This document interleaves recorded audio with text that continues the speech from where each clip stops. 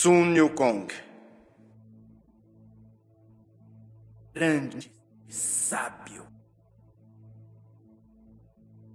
Nossa jornada começa.